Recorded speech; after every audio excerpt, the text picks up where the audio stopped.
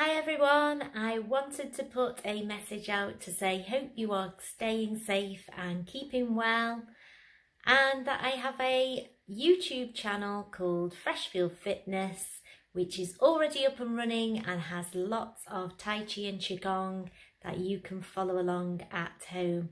I am also aiming to upload every morning at 10 o'clock UK time a new session of Tai Chi Qigong and low impact gentle exercises that will help you stay active, maintain your strength and your mobility while we are at home. I will put a link in my bio and in the comments below to my YouTube channel and I hope you join me tomorrow at 10 o'clock UK time.